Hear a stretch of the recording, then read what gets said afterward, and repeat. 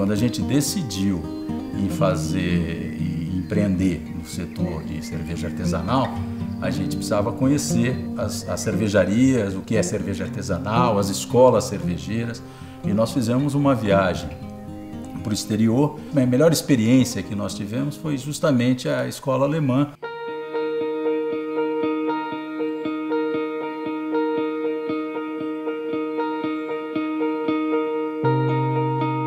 Aqui é o berço da Valfenger, aqui onde nós estamos.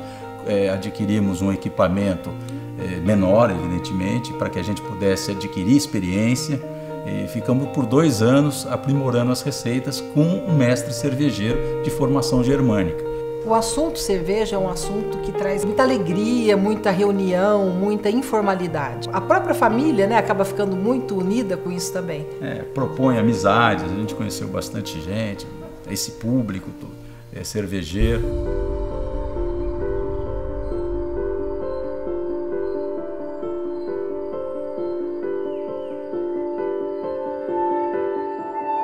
Acho que o início já, já teve esse conceito de família. O próprio nome Valfeng era o sobrenome da família. A gente tem, tem um relacionamento muito bom, né?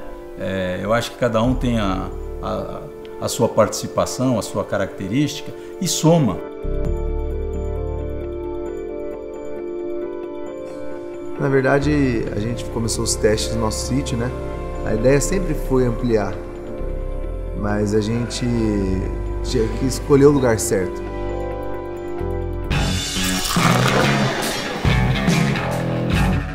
A cerveja, na verdade, todos os maltes e lúpulos são alemães, né? São importados, toda a matéria-prima.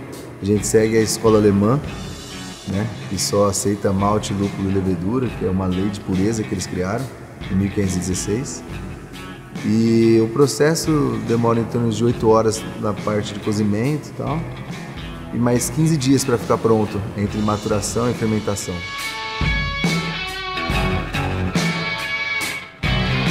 Hoje nós temos seis estilos de cervejas, né? São seis estilos alemães. E o que a gente quer trazer com o nosso pub e nossas cervejas é essa experiência diferenciada, né? Em que as pessoas possam beber algo melhor.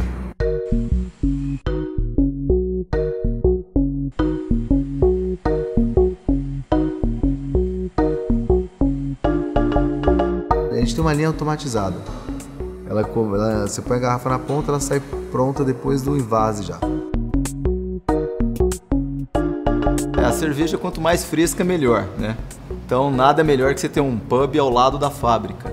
E a gente consegue passar a experiência que a gente gostaria que o consumidor tivesse. Ele não está só comprando a minha cerveja e tomando na casa dele. A gente pode vir até aqui, conhecer a fábrica, ver o processo produtivo, né?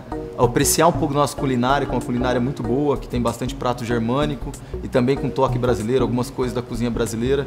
Então a gente quis envolver mesmo os nossos clientes, nossos consumidores, para entender um pouco o que é a Valfenger, né?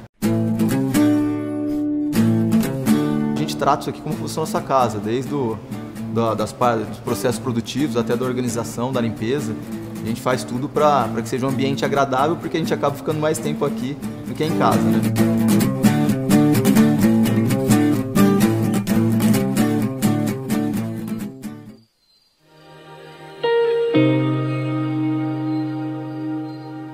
É uma empresa familiar, né, uma marca que leva o nosso sobrenome. Então é muito, muito legal a gente ver nossa cerveja em pontos de venda, ver as pessoas consumindo, ver o feedback positivo, que gostam do produto. Então para nós é muito legal a gente conseguir levar isso até o público, a experiência da cerveja artesanal. Né? E o fato da gente estar tá conseguindo expandir né, em tão pouco tempo é fruto de tudo isso. Vestir a camisa e tá todos os dias, né?